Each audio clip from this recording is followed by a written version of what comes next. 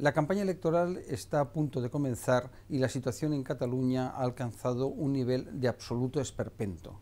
Las CUP parece que en pocos días podrían decidir definitivamente, o eso dicen, eh, si apoyan a Artur Mas, que está en las antípodas de lo que es esa formación antisistema, eh, sí puede ser el presidente de la Generalitat con sus votos, una cosa absolutamente incoherente, tanto de unos como de otros, de convergencia y demás, una formación eh, de derechas, burguesa, tradicional, eh, independentista, aliada con un grupo que quiere romper el sistema. Por otra parte, el Tribunal Constitucional ya va a resolver, lo hace con celeridad, afortunadamente, sobre la resolución del Parlamento de Cataluña para abrir lo que llaman el proceso, el proceso independentista, otro enorme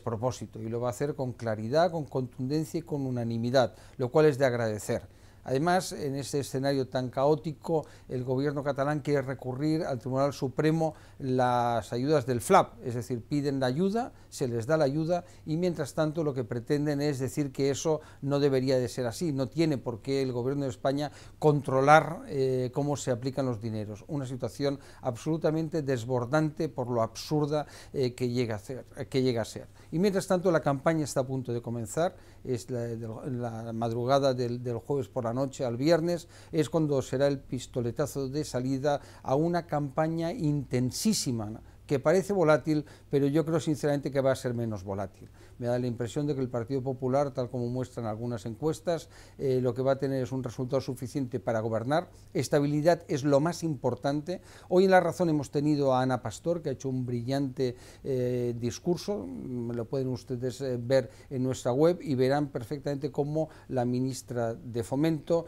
desgrana todas las inversiones que ha realizado el Gobierno de España durante estos años y desmonta algunos de los tópicos que se han utilizado y donde muestra que es una ministra seria, una ministra eficaz y donde lo que refleja claramente que lo que no puede España tirar adelante es con personas inexpertas y sin experiencia. Lo que se necesita son personas con una experiencia como lo que es Ana Pastor.